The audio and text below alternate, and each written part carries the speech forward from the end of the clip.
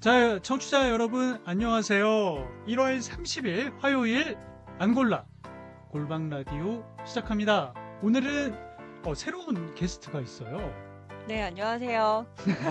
자기소개를 좀 부탁드립니다. 네, 안- 어, 목이 갑자기 인사를 죄송합니다. 어, 저는 JTBC 국제팀에서 일하고 있는 네, 김혜미 기자라고 합니다. 어, 그렇군요. 아직 참고로 지금까지 어, 우리 한 번도 그 실명을 깐 적이 없었는데 오늘 어, 김 기자가 아, 그래요? 네, 실명을 지금 얘기를 했습니다. 아, 그래서 오랜 동안 그 육아휴직을 마치고 지금 이제 복귀를 한 거죠. 네, 그렇습니다. 어, 네, 오늘 저좀 목이 좀 감겨 있는 것 같네요. 그러게요. 네. 아니 말 안 하고 열심히 일하다가 갑자기 와서 말을 하려니까 목이 매네요. 어떻게 좀, 네. 좀 적응이 좀 되나요? 이제 지금 복직 이틀 차죠, 지금? 네, 그렇습니다. 네. 저는 어, 잠깐 복직 어, 휴직을 하고요. 음, 지금 어, 1년하고 조금 1년 반인데요. 사실 정확히 말씀드리면 육아휴직과 또 제가 해외에 나가야 되는 일이 좀 있어서요. 해외에 나가서 어, 이런 저희 사사로운 휴직, 사사 네. 휴직을 마치고 그렇군요. 네, 돌아왔습니다. 예, 육아휴직에 이어서 사사휴직까지. 어, 네. 어디에 가 있었나요, 그동안? 네, 저는 미국의 어, LA에서 네, 있다가 네. 일주일 전에 한국으로 돌아왔습니다. 그렇군요. 아, 복귀를 축하드리고 또 앞으로 네. 든든한 또 전력이 될 거라고 예상을 하고 있어서 네. 어, 너무너무 반갑습니다. 자, 잘 부탁드리고요. 네. 자, 오늘 저희가 해보려고 하는 주제는 어, 저출산 플러스 조리원입니다. 네, 네. 네. 어, 최근에 어, 뉴욕타임스에서 기사를가 나왔는데 이 기사에 대해서 어, 한국 언론들이 엄청나게 그 기사들을 많이 썼어요. 그랬는데 이제 제목들을 한번 볼까요? 자, 여기 제목을 보면은 한국 출산율 이유 알겠다. 이 낮은 저출산의 이유 알겠다. 산후조리원에 가서 아, 혀를 내두른 어, 뉴욕타임스 기자. 네. 자, 강남 조리원에 입소한 NYT 기자. 아, 한국 출산율 이유 알겠네. 네, 네. 2주에 800만 원 조리원 경험을 한 NYT 기자. 한국 낮은 출산율 설명되네.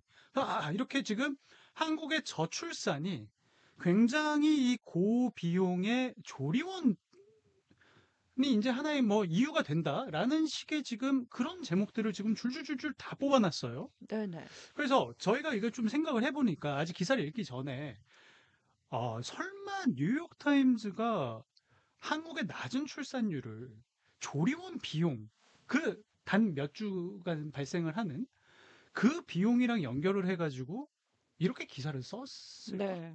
그쵸. 이게 음. 만약에 그렇다면 이제 뉴욕 타임즈라고 하는 권위 있는 신문에서 네.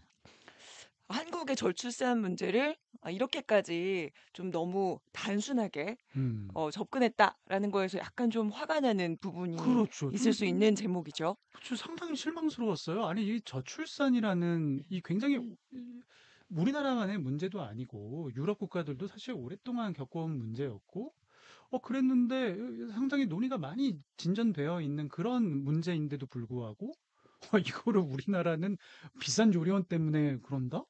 좀 이상했어요. 그래서 이 기사를 오늘 먼저 한번 분석을 좀 해보고, 네. 예, 그 다음에 우리가 또 이제 산이, 산후조리원에 대한 뭐 경험이라든가, 네네. 뭐 이야기들, 그 저출산에 대한 얘기들 한번 나눠보는 걸로 하겠습니다. 네. 자, 그러면은 자, 이게 먼저 어, 그 뉴욕타임스 기사의 제목입니다. 그 제목만 보면은 자, 그 새로 처음 아이를 낳는 엄마들, 어, 서울의 엄마들이 어, 3주 동안에 어, 기저귀갈이 그다음에 이제 숙식을 해결을 한다 조리원에서 네네. 뭐 이제 이런 이야기예요. 이제 제목만 딱 봤을 때는 뭐 좀 그런 느낌이죠. 그 아 음. 일종의 르포 형태의 기사겠구나라는 생각이 좀 들어요. 네. 그렇죠? 그렇죠. 예. 그래서 근데 여기 이제 소제목이 달려 있는데 네네. 자, 제가 좀 줄을 좀 쳐봤어요. 자, where fewer people are deciding to have children because of high cost. 자, 이게 음. 비싼 그 비용 때문에 음, 좀 출산이 좀 줄어드는 어, 아이를 낳기 낳, 낳, 낳자라고 생각하는 사람들이 좀 적은 적어지고 있는 그런 나라다라는 얘기죠, 지금 한국에서. 음, 네. 어, 그러니까 저출산에 대해서 얘기를 하고 있지만 지금 이 소제목에서 저출산을 어, 이 비용이랑 지금 그쵸. 연관 지은 거는 없어요. 지금 보면은. 네. 그쵸? 근데 어 이제 아주 잘 읽어 주셔서 알겠지만 제가 뭐 미국에서 영어 공부를 하지 않았지만 말이죠. 저희가 보면 이 예. 비용의 문제랑 연관 지은 건 맞습니다. 근데 이게 음. 어 뭐죠?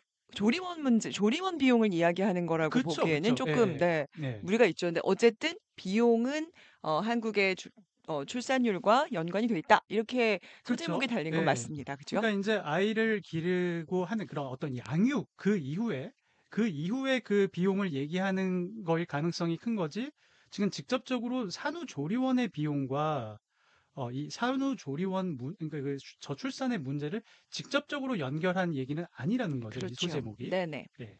그래서 인제 그 다음번 슬라이드를 한번 캡처본을 보죠. 자. 어 인제 이분이 뉴욕타임즈 기자고 어 이제 한국 기자가 아니에요. 어 지금 동도 동아시아권에서 활동을 하고 있는 기자라고 스스로를 어 소개를 좀 했는데 어 이분 같은 경우에 한국에서 본인이 직접 애를 낳았다고 얘기를 하고 있어요. 음 그쵸? 네.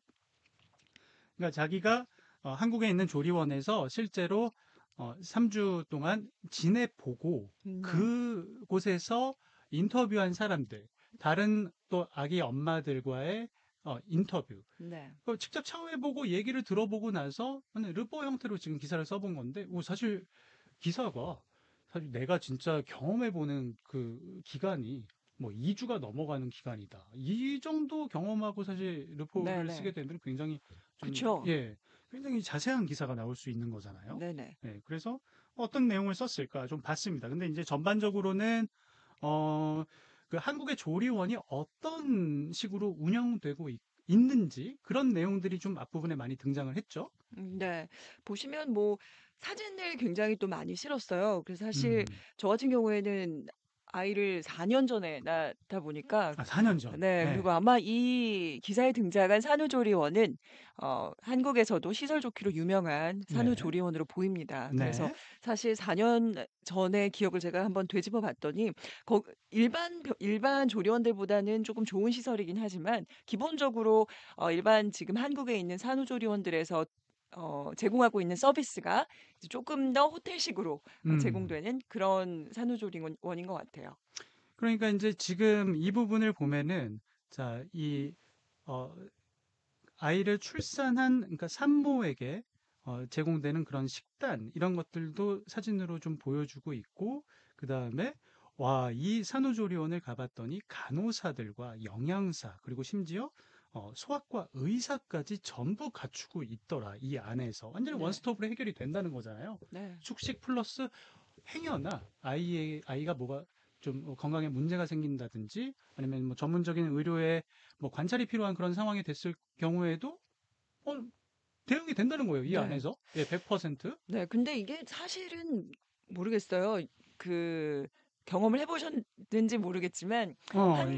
한국에 있는 지금 애 낳은 이 여성들에게는 별로 그렇게 새로운 내용은 아니에요. 그쵸. 이런 서비스는 네. 크게 다르지 않거든요. 물론 네. 아까 좀 전에도 말씀드렸다시피 뭐 조금 더 호텔 같은 마사지, 음, 조금 더 오. 호텔 같은 식사, 네네. 조금 더 편안한 침대와 인테리어 뭐 이런 것들이 다르지 사실 음, 이 기자가 처음 경험해 봤겠죠. 처음 그렇죠. 경험해 보고 네. 물론 이제 자세하게 쓴 루포 기사기 때문에 나름대로의 의미는 있지만 뭐 이제 한국 여성에게 굉장히 새로운 내용이거나 뭐 음, 새로운 사실이거나 그렇진 않습니다. 그렇죠. 네. 특히 이제 뭐 기사의 후반부에 또 등장하기도 하지만 한국에서는 지금 어, 약 80%의 산모들이 산후조리원을 이용하고 있다고 하더라고요. 네네. 그렇다 보니까 음, 많은 분들은 음, 산후조리원 가면은 사실 저런 거 기대하고 가는 거지. 그냥 뭐 새로운 네. 건 없어라고 생각을 할것 음, 같아요. 제가 볼 때는 이 미국인들에게 네. 어 한국 산후조리원이 신기하기 때문에 이 기사가 음, 뉴욕타임즈에서는 사실 굉장히 좀 신기하고 재미있는 기사로 읽힐 수 있을 것 같아요. 왜냐하면 그렇군요.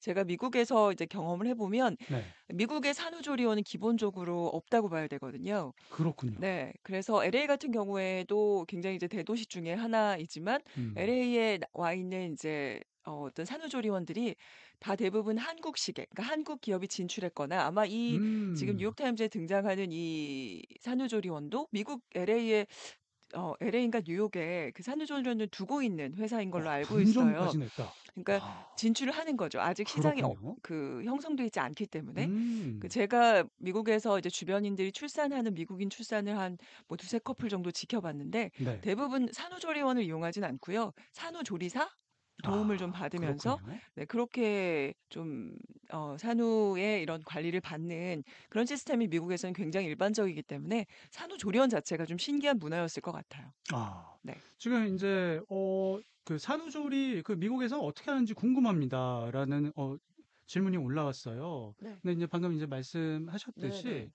어 미국에서는 산후조리원이 그렇게까지 어 인제 활성화되지는 않았는데 그러면 보통 사람들이 어떻게 산후조리를 하나요? 거의 없다고 보시면 아 되고요. 그 개념 자체가 산후조리원. 같은 그러니까 대부분 이제 가정에서 이제 네. 누군가의 도움을 받아서 하는데 제가 안 어. 그래도 조금 궁금해하실 것 같아서 미국 네네. 산후조리원 그걸 좀 어 지인들이랑 제가 그때는 이제 미국에 있을 때 잠깐 들었던 이야기들을 좀 더 찾아봤어요. 네. 그랬더니 이제 한 우리나라 이모님이라 그러죠. 그 어 집으로 이모님. 오시는 네네네네. 이모님들이 예. 산후조리사라고 불리는 이제 아. 거기에서는 이제 어 쪼금 둘러라는 그러니까 영어로 이제 이름으로 그 케어해 주시는 분들이 계신데요. 둘러요? 네네. 그러니까 어. 이게 출생 조조그 뭐라고 하죠? 한국말로는 그러니까 산후 이모님이 되 저희는 그냥 이모님, 네. 산후조리사인데 산후조리사 개념으로 보시면 될 것 같아요. 아 그렇군요. 그래서 음. 아이를 낳는데 집안에서 낳는 경우들도 있으니까 그걸 네. 도와주시는 이모님들이 계시고 예 그 케어하는 사람들이 있고 이제 산후조리사 같은 미국 음. 사람들이 있는 거죠. 근데 일단 미국에서는 한국 미국에 있는 한국 사람들은 이제 이모님 같은 그 산후조리 음. 이모님들을 집으로 해서 하는 경우가 많고요. 어째 산후조리원을 어쨌든 이용하지 그거는 않고. 아니네요. 그 가령 네. 뭐 예전에 뭐 약간 우스갯소리기는 하지만 가령 뭐 네덜란드나 이런 네네. 데서는 아침에 자전거 타고 산모가 병원 갔다가 애기 낳고 네. 애를 아 앞에다 태우고 자전거 타고 어 집으로 돌아오더라. 근데 그 많이는 이용 안 하는 것 같아요. 우리는 거의 어. 뭐 아까 말씀하신 80%라고 했지만 만약에 산후조리원을 가지 않는다고 해도 네. 그 나머진 분들은 국가에서 지원하는 프로그램도 있고 음. 산후조리사들이 다 와서 이모님들의 도움을 음. 받게 되어 있거든요. 그러니까 그 아. 지원이 가능해요, 국가에서도. 그 미국이요? 아니요, 우리나라. 아 우리나라. 근데 예. 한 미국의 경우에는 음 다수가 다수라고 제가 뭐 전 정확한 비율을 말씀드리긴 좀 어렵지만 네. 산후조리사를 이용 그 서비스를 개인 돈으로 이용하는 음. 경우가 있고 아니면 어 집에서 음. 스스로 케어하죠. 그러니까 한 이틀 아 정도면 스스로. 병원에서 퇴원을 하게 되어 있는데 그 뒤로 이제 어. 스스로 케어하죠. 그러니까 아 제가 볼 때는 그렇군요. 스스로 하기보다는 가족의 케어를 받는다라고 보시면 좋을 것 같아요. 음. 남편과 뭐 예 예. 그렇게 좀 케어를 받게 어. 되어 있죠. 네. 어쨌든 혼자 뭐 가서 그냥 애 딱 낳아 가지고 그냥 뭐 돌아온다 막이 음. 정도의 그런 그러니까 뭐건 그건 아니네요. 좀예 아니고요. 그건 제가 좀 볼땐 아니고. 하루 예. 정도 우리나라보다 확실히 그 케어하는 음. 부분은 산후 케어는 우리나라가 굉장히 좀 적극적이고 또 아주 세심한 케어를 하고 있는 것 같고요. 네. 미국은 실제로 아기 낳고 2-3일 후에 아기를 안고 돌아다니는 어머 엄마들도 제가 동 그 아파트 단지 내에서 많이 아 막 봤습니다. 아 어제 어 이제 출산하러 간다 어 그러더니 네. 아뭐 정말 며칠 지났는데 갓난아기를 예. 데리고 며칠 만에 병원에 나오면 일단 어. 같이 나와서 산책도 하고요. 그렇군요. 예 쪼끔 우리나라와는 분위기가 많이 다른 모습이긴 어. 합니다. 어 그 외국인들은 별로 그렇게 산후조리의 그 필요성을 혹시 못 느끼는 거 아닌가요, 그러면? 그 뭐 여러 가지 저희 저도 뭐 그런 이야기를 들어봤습니다만 뭐 미국인들의 인체 구조가 우리나라보다 여성들의 그런 굉장히 아기 낳고도 회복이 빠른 몸이다 뭐 이렇게 하는데 저는 아. 그렇게까지 예. 그건 약간 확인되지 않은 것 같고요. 그렇군요. 네. 문화가 음. 아닐까 싶습니다. 아 네. 애 아이를 좀 어 그러니까 외국 여성들이 좀 쉽게 쉽게 낳는 건. 아니겠죠. 얼마나 어어아그 고통스럽겠습니까마는. 아 그렇군요. 아그그 이후에 제가 예 예 좀 회복 음. 과정에서 이제 어떤 한국처럼 이런 시스템이라든가 아니면 인식들이 막 집에서 뭐 이렇게 누워서 한참을 쉬어야 된다거나 이런 음. 부분들이 약간 동양적인 그런 사고방식에 좀 아 있는 그렇군요. 부분들이 있어서요. 그리고 아까 음. 제가 말씀드렸던 것처럼 남성들의 도움이 미국에서는 굉장히 남편의 도움과 케어가 굉장히 적극적으로 이루어지고 있기 아 그런 때문에 그런가요? 네 저는 그 차이도 아. 있다고 봅니다. 아 그렇군요. 그러니까 네. 한국 남성들은 어 그러니까 아기가 나왔지만 사실 어떻게 돌봐야 되는지 이런 걸 잘 모르니까 어떤 일단 그런 출산휴가도 많이 쓰지 않는 걸로 알고 어 있고 그렇군요. 출산휴가 에서도 이제 어쨌든 적극적으로 이 아이 돌 봄이 네. 아직은 한국 남성들에게 익숙하지 않다 보니까 그걸 이제 네. 본인이 함께 해야 된다는 생각을 못 하 는 분들도 계시고 예. 또 하는데 서툰 분들도 계시고 근데 예. 이제 일단은 미국의 인식은 아이가 음. 태어났기 때문에 남성들의 휴직도 굉장히 어 적극적이고요. 그러니까 네. 아이가 나 나오면 한1 주일 정도 회사에서 어쨌든 그렇군요. 하게 되어 있고 그런 가족 기존에도 이제 어쨌든 가사 일이라든가 이런 분담이 음. 되고 있는 상황에서 아이가 나왔을 때는 네. 분담이 가능하 네. 하겠죠. 그래서 어, 얼- 얼굴 좀 빨개지신 것 같은데 제가 괜찮? 얘기하다 예. 보니까 제 과거에 힘들었던 아 지금 갑자기 화가 나 나신 그, 약간의 그런 화가 상황인가요? 네.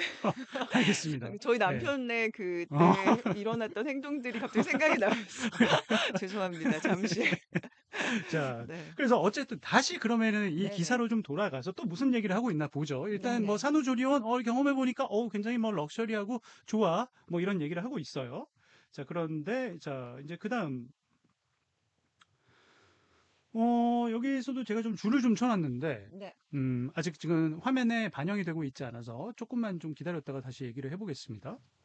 어 일단 이번 쪽에서는 자, 이제 한국이 그 산후원을 얼마나 그 많이 산모들이 이용을 하고 있는지 그 얘기를 하고 이- 있어요. 네네. 예, 지금 10명 중 8명의 산모가 어, 이제 아이를 낳은 다음에 이런 산후조리원을 이용하고 있다. 그래서 너무 산후조리원을 이 인기가 많다 보니까 일부 사람들이 정말 가고 싶어 하는 그런 산후조리원은 어, 예약이 굉장히 밀려 있다. 그러면서 이- 뭐한 명 어떤 사례를 소개를 했어요. 그래서 누군가가 어, 산후조리원 그 굉장히 유명한 뭐 좀 고가의 그 산후조리원에 예약을 하고 싶다고 연락을 했더니 어 그쪽 산후조리원 측에서 말하기를 마치 어, 이제 전화한 거야? 음. 라고 반응을 보였다고 해요. 그런데 그때가 이미 어, 7주밖에 안 지난 상황이었는데 네. 그 정도로 사람들이 뭐 임신 그 테스트기에 두 줄이 나오는 순간 연락을 음. 해서 예약을 해야 될 판이다. 네. 뭐 이렇게까지 뭐 얘기를 하고 있는데 이건 조금 독특한 케이스겠죠? 뭐 실제로 어. 그 정도는 아닌 것 같기는 한데. 네. 그 정도는 일단 뭐 한국 상황은 잘 아시겠지만 보면 뭐 한 14주 아이들이 아이가 이제 한 성별이 나올 때쯤 네네.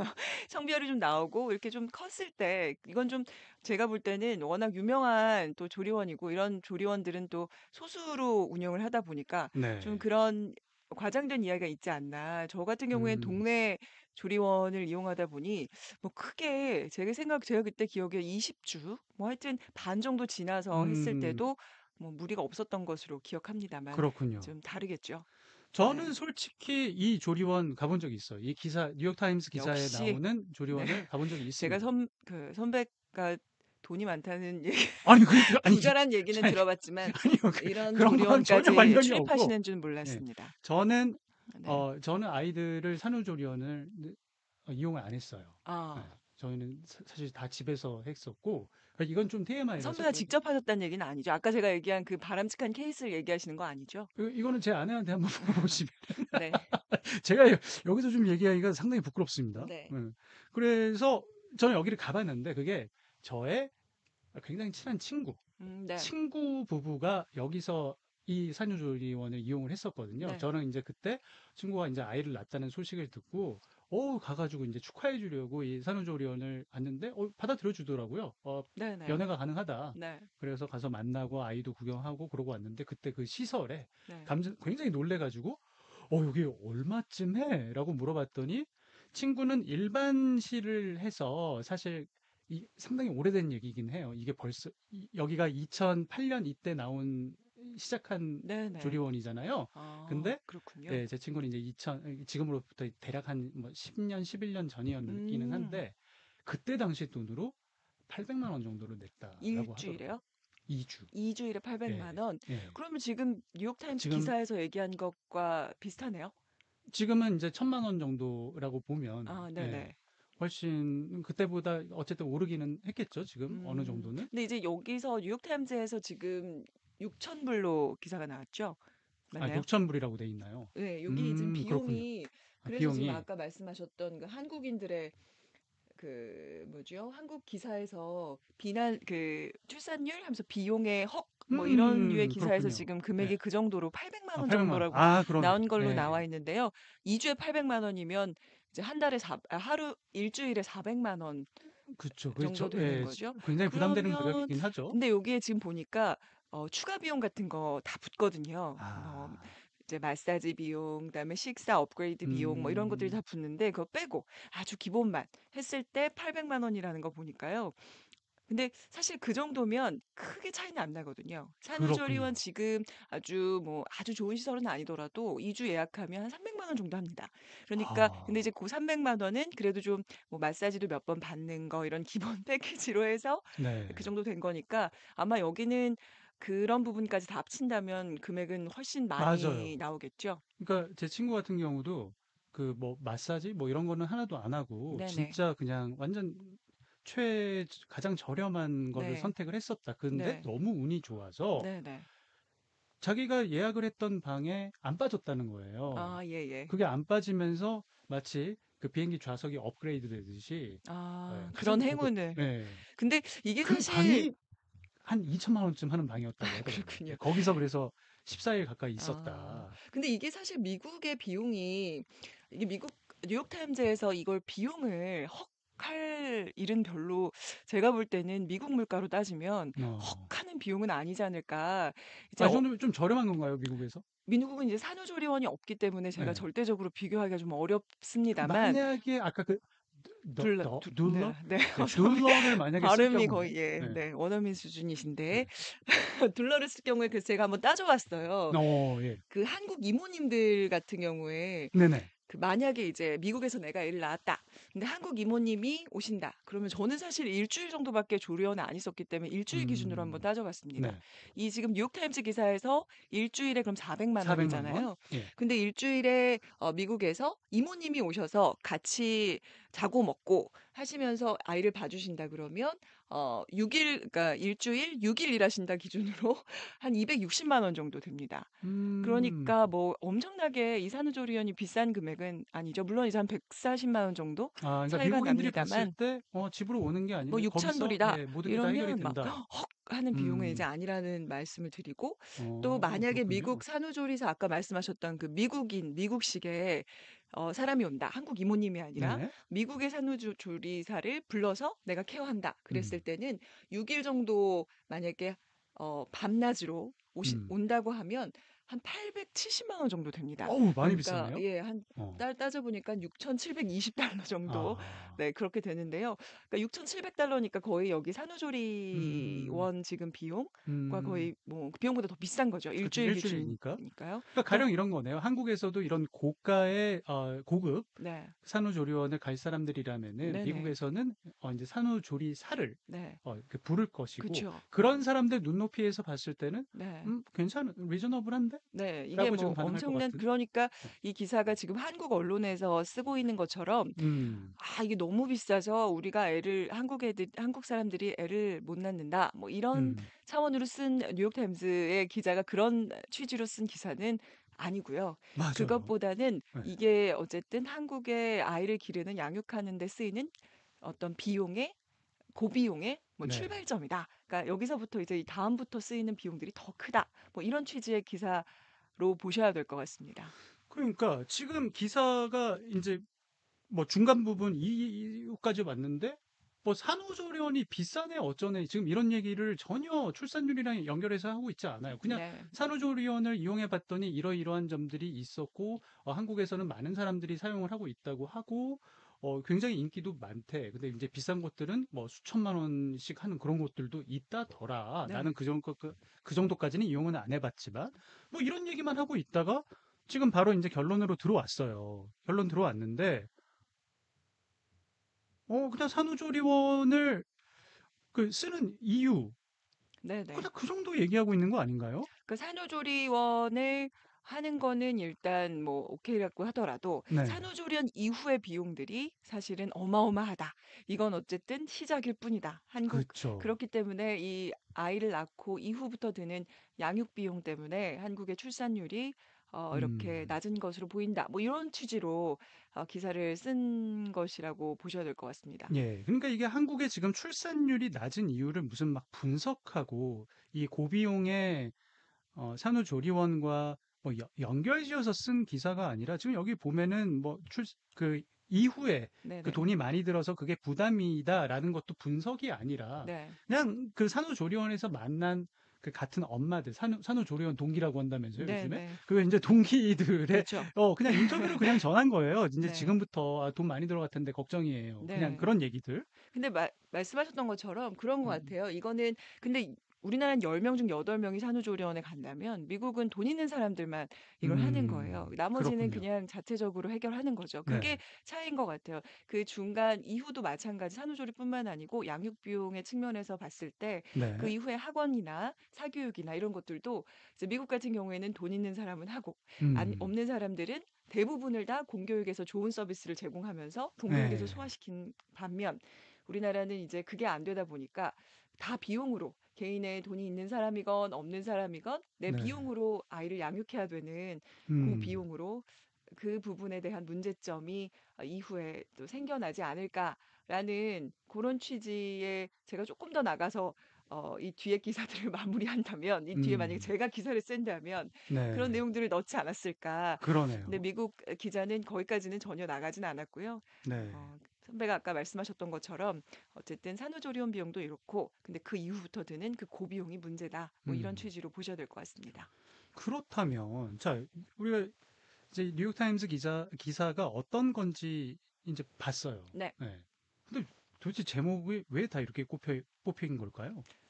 한국 기자들이 쓴 기사는 음, 왜냐하면 이게 미국 아까 말씀드렸던 것처럼 미국이 본 우리나라 조리원도 이렇게 비싸대 라고 음. 하는 그런 공감과 아니, 음. 어떤 그런 대- 그 공감을 불러일으키는 그런 제목이 될 수도 있고요. 네. 그래서 많은 분들이 좀 보실 수 있도록 하는 그런 음. 제목의 분석일 수도 있고 아니면 어, 출산율을 어떻게 보면 분노를 아까 내가 처음에 시작할 때 말씀드렸던 것처럼 우리나라 출산율이 이것 때문이라고 미국 기자가 이렇게 편하게 얘기한다고? 라고 하는 음. 분노를 또 어, 불러일으킬 수도 있는 포인트여서 아마 많은 한국 언론들이 또 그 부분에 주목한 것이 아닌가 하는 생각이 듭니다. 그렇군요. 네. 근데 이렇게 하면은 안 되는 거 아닌가요? 어, 선 배 JTBC는 그렇게 하지 않습니다. 아, 아니, 아니. JTBC는 정확한 보도와 여러분께 음. 정확하게 전달해 드리기 위해서 네, 앞으로 JTBC, JTBC 국제팀은 네. 정확한 보도에 힘쓰도록 네, 하겠습니다. 그 너무 거기서 말 더듬으시면 네. 네, 굉장히 이상해지는 거. 네. 어쨌든 예, 미국 뉴욕타임스 기사와는 어, 뉴욕타임스 기사에서 얘기하고 싶었던 것과는 네. 다소 좀 다른 방향의 포커스가 맞춰져 가지고 어, 우리나라에서는 그 인용 보도가 된다라는 거를 저희가 좀 말씀을 드린 겁니다.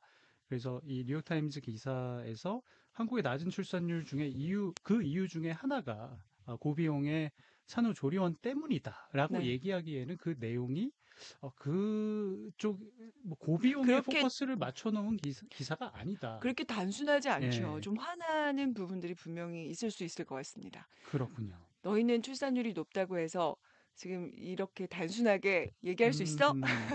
이렇게 단순하게 볼 수 있어? 남의 집 일이라고 그렇게 심플하게 볼 수 있어? 이렇게 하는 마음이 들지 않으실까라는 생각인데요. 네. 어쨌든 NYT의 의도는 그것이 아니었다는 거 다시 한번 정확하게 네. 말씀을 드립니다. 예. 뭐 역시 NIT였습니다. 네네.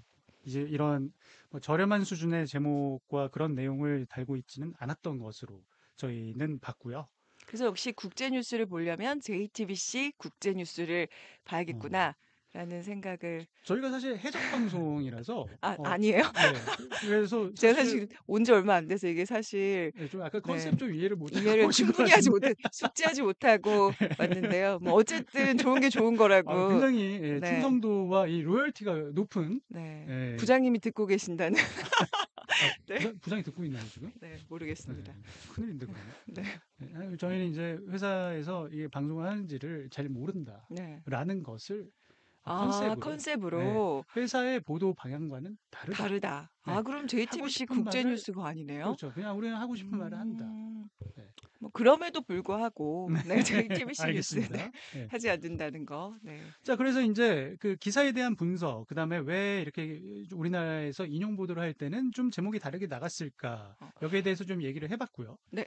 그래서 그렇다면은 이 저출산, 뭐가 문제일까? 네. 네, 그 얘기 조금 해보고 오늘 마무리할까요? 네. 네. 음, 선배는 아이가 이, 있으시잖아요. 저는 아이가 둘 있습니다. 네. 네. 그 아이를 낳길 잘했다? 못했다. 아, 네. 지금 잘했다, 못했다. 음, 아직 너무 오래전이라 사실 좀 까먹 그 감이나 어떤 그 느낌을 음. 내가 이 어, 몇 살이죠? 아이가 첫째 아이가 몇 살이죠? 아, 첫째 아이는 고등학생. 고등학생 예. 그러면 뭐 어림잡아 15년으로 봤을 때 15년 음. 전으로 돌아간다면 나는 음, 아이를 낳겠다, 낳지 않겠다. 뭐 이분법적인 눈- 질문이기도 하고.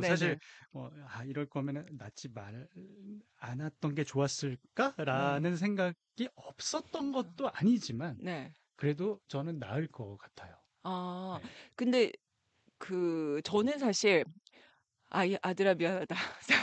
4년 전으로 돌아간다면 다시 한번 재고해 보지 않을까 아, 이거 아들이 싶습니다. 들으시- 들으면 안 되겠는데. 아들 아들 아직 뭐 잘 예. 지금 분간을 못하는 그런 음, 4년 그렇구나. 전으로 돌아간다면 아니 조금 더 신중하게 근데 결국에는 나았겠지만 이렇게 음, 많은 것들과 저의 정신적 제가 근데 지금 너무 혼자 흥분해 있는 것 같다는 생각이 좀 들긴 하지만 이- 이 얼굴이 빛이 굉장히 저의 이렇게 예, 정신과 해요. 경제적 정서적 어, 이런 것들을 이렇게 한국 사회에서 아이를 기르다 보니까 네. 이렇게 많은 비용들을 어 그게 꼭 돈뿐만이 아닙니다만 음. 에너지와 이런 것들을 네. 들여야 하는지에 대해서 조금 더 한번 생각해 보지 않았을까라는 맞아요. 생각이 예. 들긴 합니다.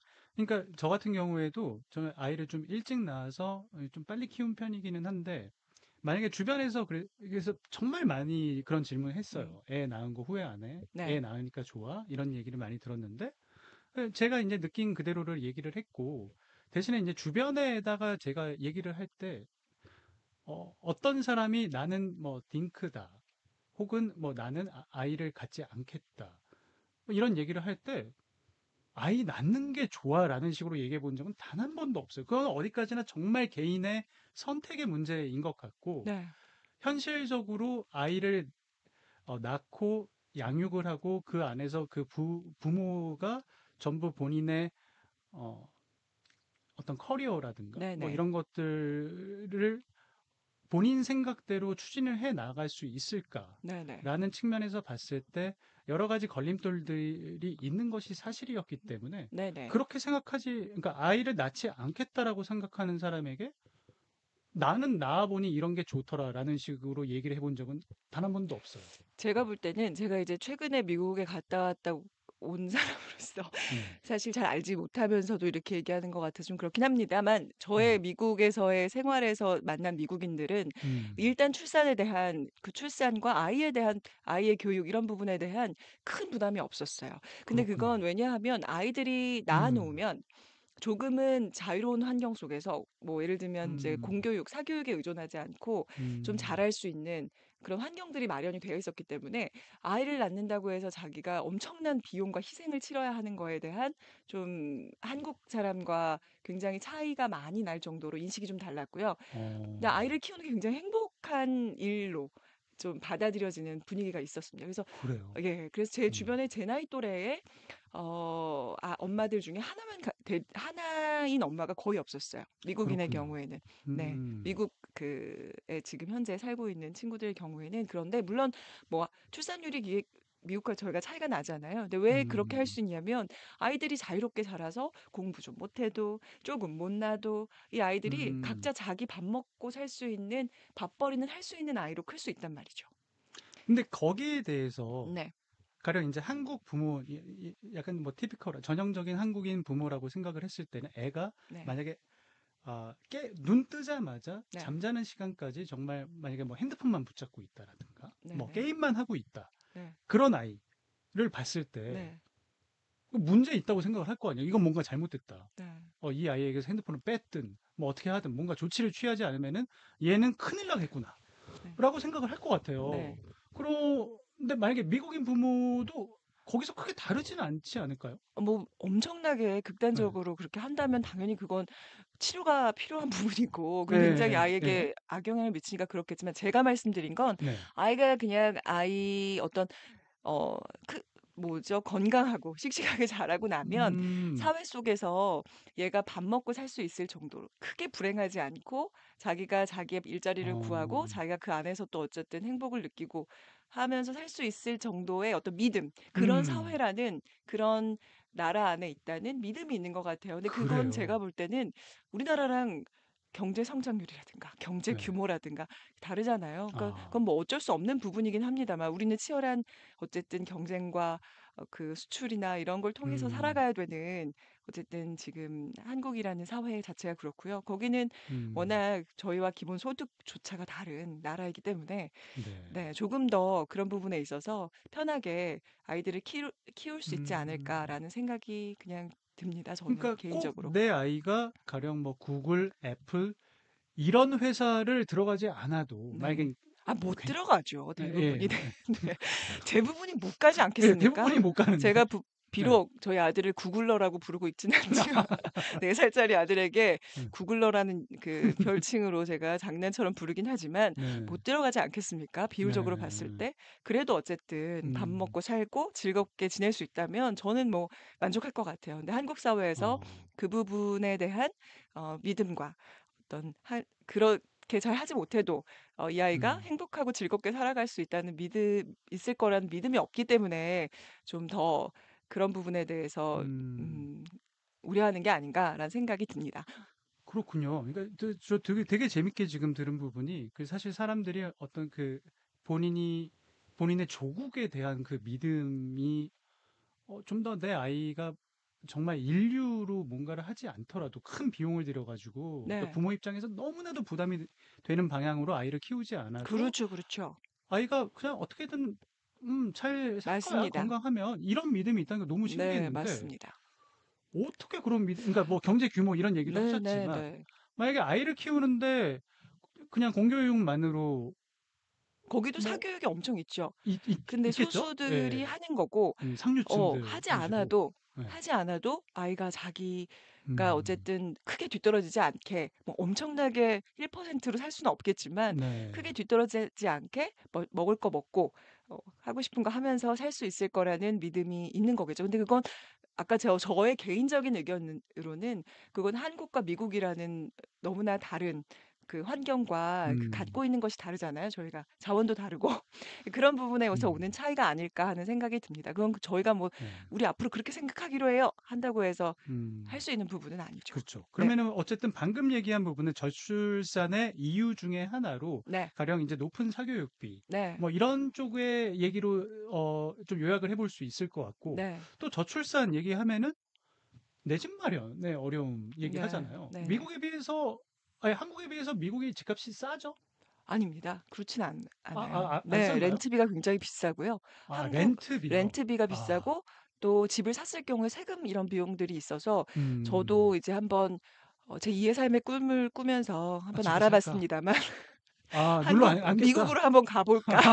네. '아이를 한번 네피 어, 키워 볼까.' 하는 생각이 있었는데요. 네, 근데 아무튼 그건 좀 농담이고 하여튼 집을 봤을 때 네, 우리나라보다 물론 당연히 같은 그 평당 면적이라고 하나요? 거기는 네. 이제 그 면적 자체가 넓은 나라니까 우리나라처럼 좁은 집도 굉장히 비싸잖아요. 그런 걸로 어, 따졌을 때는 그게 일괄적으로 비교할 수 있는지는 모르겠지만 기본적으로 뭐 30 평대 뭐 이런 아파트 를 음, 샀을 때 거기는 아파트가 없고 일반 주택들이 많잖아요. 좋은 네, 환경의 그 주택 그 정도의 규모의 주택을 사면 뭐 크게 차이는 나지 않습니다. 우리나라의 뭐 네, 강남은 당연히 집값 비싼 동네들은 좀 다르겠죠. 네. 네.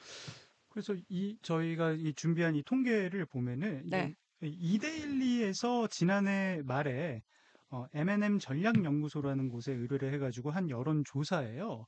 그래서 보면은 어, 지금 수도권의 30대 기혼자들을 대상으로 질문을 했는데, 자, 희망 자녀 숫자, 어, 아이를 낳고 싶어 하는 사람이 기본적으로 많은 거예요. 지금 보면은 애를 안 낳겠다라는 사람은 9.1%밖에 안 되는 걸로 봐서 자, 90%, 91% 정도는 아이를 갖겠다라고 희망을 하고 있는 거예요, 지금. 네네. 그런데 저출산으로 가면은 자, 그- 근데 애를 이제 못 낳는 경우가 많겠다는 거죠. 지금 왜냐면은 한 가구당 뭐 한 명을 못 낳고 있는 상황이라고 네네. 보면. 근데 저출산 이후 자, 과도한 주거 비용, 육아 비용, 그 다음에 이제 뭐 어떤 본인들 문제인 어, 경력 단절 부분, 그 다음에 어, 교육 문제. 어, 아, 육아 이게 사교육비가 아닌 육아 비용이라는 게 굉장히 높네요. 저 이, 보통 육아 비용이 사교육 교육비를 제외하고 나면은 뭐를 의미하는 거지? 그게 좀 궁금하기는 한데. 교육만 시켜야 되는 게 아니라 뭐 음, 뭐 여러 가지 해야죠. 교육비가 아마 그 비용 중에 이게 같이 평가된 건지는 정확하게 모르겠습니다만 뭐 네. 먹이는 것도 그렇고요. 음, 뭐 그렇군요. 여러 가지 예. 많이 들죠. 장난감도 사줘야 되고 뭐 예. 그런 거 있겠죠? 음. 네. 어쨌든 근데 주거 비용을 굉장히 높게 꼽- 꼽고 있다는 거. 네네. 제가 요즘 이게 좀 굉장히 좀 와닿는데 네네. 저희 이제 가족이 네 명이다 보니까 네네. 어, 네 명이다 보니 사실 이제 방이 세 개는 있어야 네네. 예, 뭐가 좀 생활이 되는 거예요. 아이들이 네. 어렸을 때는 둘이서 한 방 써라 이게 됐지만 음. 이제 지금은 다 각방을 쓰고 있으니까 그래서 저는 사실 제 방이 없, 없는 상황이라 저는 음. 예. 그러다 보니까 이제 집을 구하려고 하는데 어 비싸죠. 그쵸 네. 집을 좀 넓히면 어떨까 아 나도 좀 내 방이 있으면 좋겠다 라는 음. 생각에 방이 네 개 있는 네. 이뭐 방- 골방에서. 네. 어, 네, 이런 골방으로. 골방이어도 좋아요 네. 진짜 뭐 음. 책상 하나만 들어갔으면 음. 좋겠다 그러면 원이 없겠는데 네. 어쨌든 참 이렇게 집 어떤 집을 좀 넓히려고 생각을 해도 어 이제 비용이 이제 확 비싸지기 때문에 네. 아 이게 아이들이 이- 있는 게 어, 이게 주거 비용으로 확실하게 연결이 되는구나. 음. 뭐그 부분이 그래서 예, 저출산 문제에 영향을 준다. 아, 라고 주겠죠. 보, 네, 이고요 네, 네. 그 다음에 이제 이렇게 내 집 마련하고 특히 이제 애가 있으면은 이 주거의 불안정을 어, 할 수 없기 그걸 좀 견디기가 어렵기 때문에. 어, 내 집 마련하고자 하는 욕구가 커지는 거잖아요. 네. 예, 그러다 보니까 내 집 마련하고 어쩌- 자녀 교육시키고 하다 보면은 이 부부가 본인들의 노후 어, 그렇죠. 준비 하나도 못한. 네, 자, 맞습니다. 그리고 또 유자녀 가구, 어, 생활비, 주거비, 자녀 교육비 지금 네. 차지하는 비율들이 비슷비슷해요. 그래서 남는 게 없다. 진짜 없죠. 이런 얘기들을 하는 뭐 어, 최근 음, 네. 통계 자료였습니다. 나중에 네. 기회가 된다면 미국은 어떻게 그 인식하고 있는지 뭐 이런 것들도 한번 비교해 드리는 네, 그걸 한번 해보아도 좋을 것 같아요. 미국에도 네. 분명히 이런 설문이 있을 거란 말이죠. 네, 그렇군요. 그래서 자, 하여튼 오늘은 어, 뉴욕타임스가 그- 그쓴 기사, 그 산후조리원과 어, 저출산의 문제에 대해서 한번 저희가 얘기를 나눠봤고요. 네, 자, 그리고 내일은 어떤 주제로 할지 아직은 모르겠습니다만, 네, 네, 저희는 오늘 화요일 방송은 여기까지 하고 자, 네, 수요일 날 다시 뵙도록 하겠습니다. 네. 오늘 또 좋은 하루 보내고 건강한 하루 되시길 바랍니다. 네, 점심 맛있게 드세요.